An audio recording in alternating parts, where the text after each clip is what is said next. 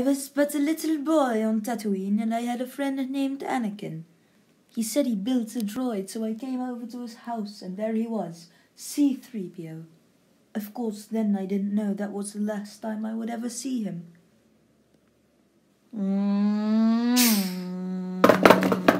What?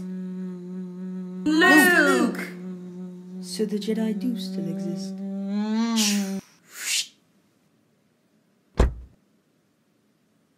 Come on, we gotta get out of here. Hey, you, stop right there. Hey.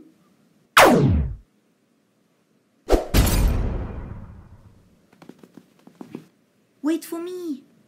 Here she is. Everybody get on board. Get ready for takeoff. Chewie, punch it.